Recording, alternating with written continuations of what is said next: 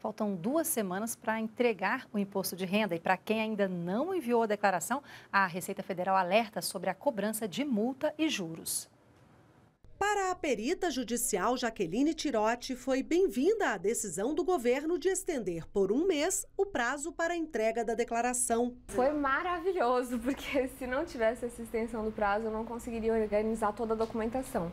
Muita gente deixou para a última hora e quem ainda não se organizou é importante correr para não pagar multa, que varia de 1% ao mês sobre o valor do imposto de renda devido, limitada a 20% do valor do imposto de renda.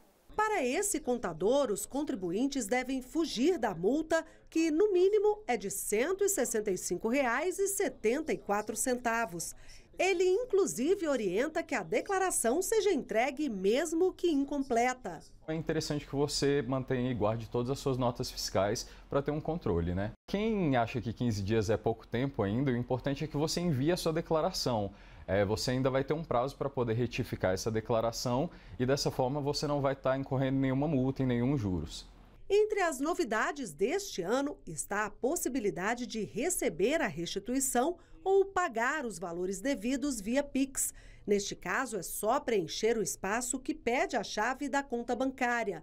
Mas antes de chegar a essa parte final do questionário, é preciso checar se todos os ganhos foram declarados. O que é o ganho de capital?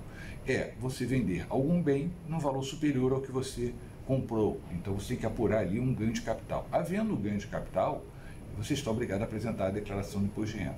Se você operou em bolsa de valores, né, de qualquer valor, também está obrigado a apresentar a declaração de imposto de renda.